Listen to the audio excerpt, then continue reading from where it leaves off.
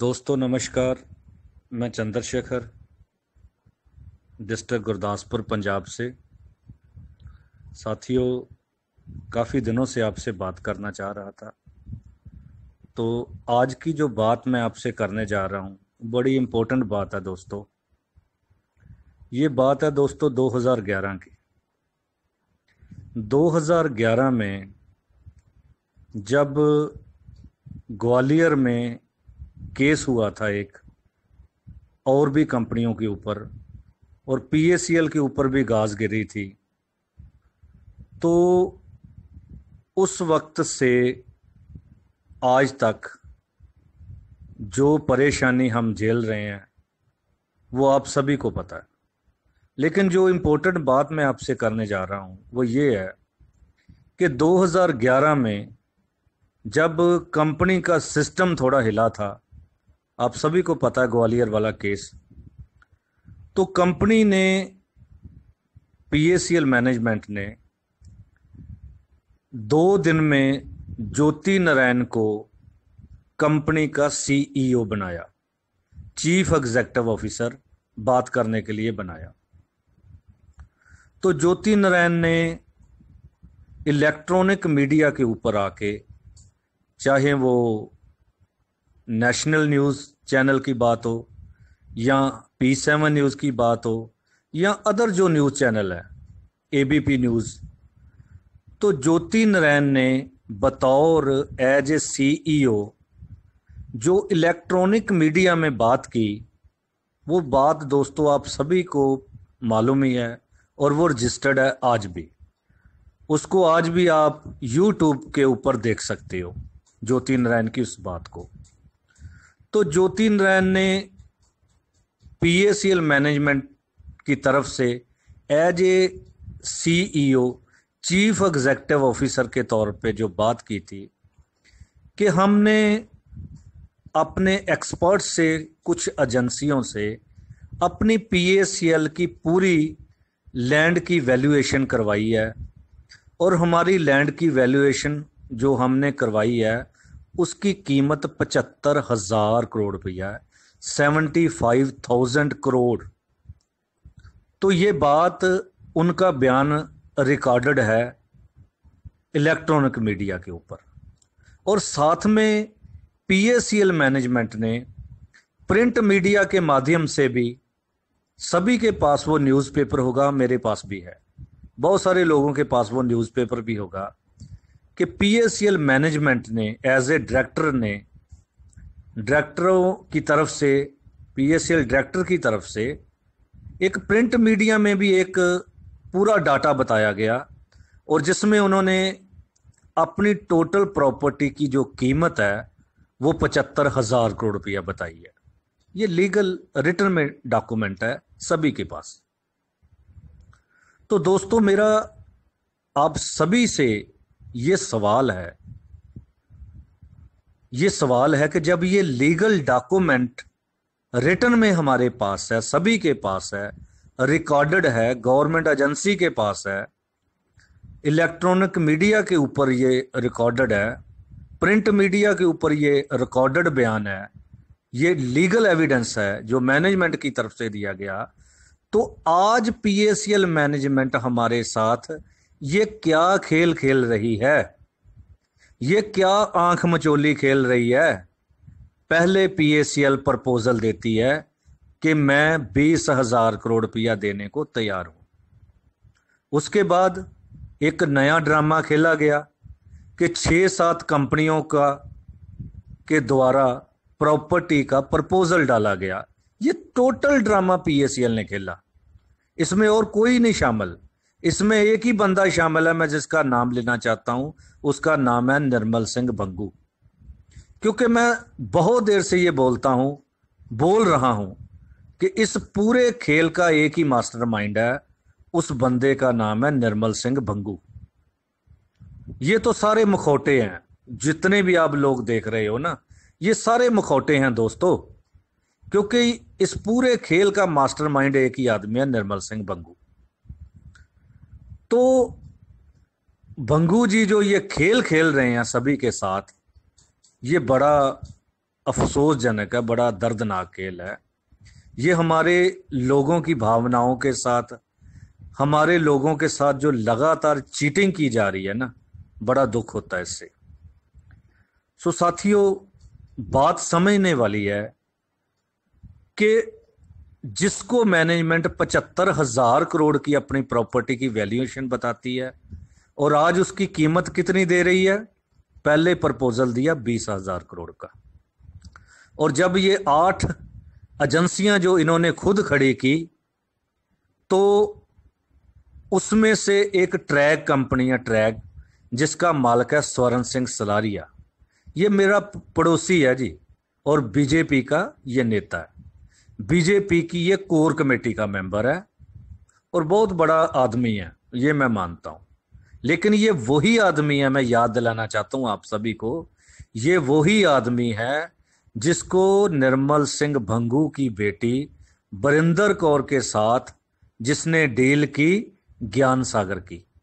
ज्ञान सागर educational charitable trust जो बनाया गया है, जिसकी हमने कंप्लेंट डाली है तो निर्मल सिंह भंगू की बेटी ने उसको ट्रस्टी बनाने के लिए और 500 करोड़ में उसका सौदा किया गया। और हमने वहाँ पे जाके उसको रोका, जिसके लिए हमें मुझे भी और मेरे बहुत सारे साथियों को जेल काटनी पड़ी। चार, पाँच छः दिन की हम वहाँ जेल काट के आए। और वहाँ से जेल में, जेल से भी मैंने मुख्यमंत्री के नाम एक लेटर लिखा। और उसके बाद हमने, जो हमारे मुख्यमंत्री हैं, जेल में आने के बाद हमने उसकी कोठी का घेराव किया और वहाँ पे फिर हमने मेमोरेंडम दिया, जिसका असर ये हुआ कि पंजाब सरकार ने उस कॉलेज की एफिलेशन कैंसिल कर दी और बच्चों को किसी और कॉलेज में शिफ्ट कर दिया गया। सो दोस्तों बात मैं ये कर रहा हूँ कि ये मैनेजमेंट जो हमारे साथ, जो निर्मल सिंह बंगू हमारे साथ जो खेल खेल रहा है, मैं उसकी बात कर रहा हूँ। तो आज मैनेजमेंट ने अपना संशोधन किया हुआ दोबारा प्रपोजल लोडा कमेटी को पेश किया और क्या कहते हैं कि हम तेईस हज़ार करोड़ रुपया twenty three thousand crore twenty three thousand crore तेईस हज़ार रुपया देने के लिए तैयार हैं और जो उसके बाद निवेशक बचेगा, हम उसको पैसा देने के लिए तैयार हैं। तो ये कौन सा पैसा ये दे रहे हैं लोग, दोस्तों? ये दे रहे हैं मूलधन, जो आपका पैसा गया।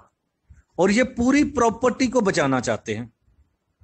मैं आपको यह भी बताना चाहता हूँ कि जो पीएससीएल मैनेजमेंट ने जो लोडा कमेटी को जो छह साल की प्रॉपर्टी का डाटा दिया, जिसमें इन्होंने खुद सबमिट सबमिट किया वो डाटा कि हमने बहुत सारी एसोसिएट्स कंपनी के नाम पे general power power of attorney के साथ प्रॉपर्टी बनाई है, जिसमें पीएसएल के नाम मात्र सत्रह परसेंट प्रॉपर्टी है ना मालूम ना मात्र बहुत थोड़ी प्रॉपर्टी और बाकी सारी प्रॉपर्टी इन्होंने अपने रिश्तेदारों के नाम, अपने सभी सके संबंधियों के नाम, सीनियर्स के नाम, कंपनी एम्प्लॉयज़ के नाम, बीएम के नाम और बहुत सारे लोग हैं जिनके नाम पे इन्होंने रिश्तेदारों के नाम पे भी प्रॉपर्टी बनाई है। चलो।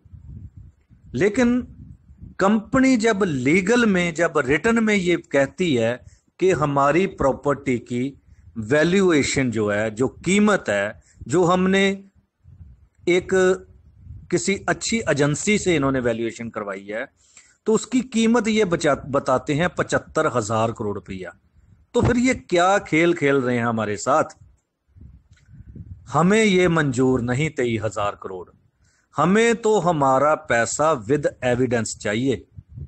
अगर मेरी ये बात मैनेजमेंट तक भी पहुँच रही है तो मैं उनको क्लियर बता देना चाहता हूँ कि अब हम जाएँगे सुप्रीम कोर्ट में दोबारा रिव्यू पिटीशन डालने। और उस उस सुप्रीम कोर्ट में हम पार्टी बनाएँगे आपके पीएसएल मैनेजमेंट को डायरेक्टर को और ज्योति नारायण को।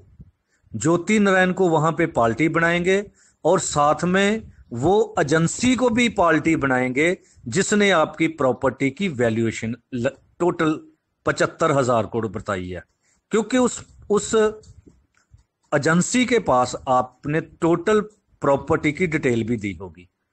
तो उस एजेंसी को भी हम वहाँ पे पार्टी बनाएँगे और आपको जो पैसा है हमारा, वो विद इंटरेस्ट देना पड़ेगा। क्योंकि हमारा पैसा अनंजा हज़ार करोड़ है और उसका इंटरेस्ट लगा के जो लोडा कमेटी ने बना, बताया, वो सतवंजा हज़ार समथिंग कुछ crore fifty seven thousand crore के करीब बताया। और जो आपकी लैंड की कीमत आपने खुद बताई है, वो पचहत्तर हज़ार करोड़ रुपया आप बता चुके हो। और ये रिटर्न में आप दे चुके हो। अब इससे आप पीछे नहीं हट सकते। ये जवाब आपको सुप्रीम कोर्ट में रिव्यू पटिशन में भी देना पड़ेगा और आपके ज्योति नारायण को भी ये जवाब देना पड़ेगा। और उस एजेंसी को भी ये जवाब देना पड़ेगा जिसने ये वैल्यूएशन जिसने ये टोटल इसकी वैल्यूएशन बताई थी। सो दोस्तों, इस वीडियो के माध्यम से ये जो मैं वॉइस मैसेज आपको डाल रहा हूँ सॉरी इस वॉइस मैसेज के माध्यम से मैं आपको बताना चाहता हूँ कि हमें पचहत्तर हज़ार करोड़ में से सतवंजा हज़ार करोड़ रुपया विद इंटरेस्ट चाहिए। बाकी ये अपने पास रख ले, हमें उससे कोई लेना देना नहीं। कोई और भी इनकी चाला चल प्रॉपर्टी है उससे भी हमें कुछ लेना देना नहीं। हमें तो हमारा विद इंटरेस्ट जो पैसा है, वो वापस चाहिए। हमें मूलधन स्वीकार नहीं। और जो लीगल का दावा ठोकते थे जो संगठन, मेरा उनसे भी ये क्वेश्चन है कि जब ये आप सभी के पास, जब ये रिटर्न में ये एविडेंस थे तो आपने सुप्रीम कोर्ट में ज्योति नारायण को पार्टी क्यों नहीं बनाया? मेरा सीधा सीधा सवाल सुनंदा मैडम मैडम से है, जो लीगल का काम देख रहे थे।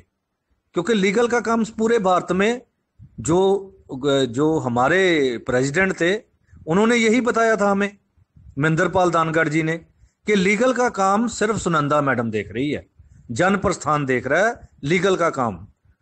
तो मैं जन प्रस्थान के मैडम से और उनके सभी साथियों से ये पूछना चाहता हूँ, ये मेरा सवाल है कि जब 2011 का लीगल एविडेंस आप सभी के पास था तो आपने ये क्वेश्चन ये लीगल एविडेंस सुप्रीम कोर्ट में क्यों नहीं लगाया?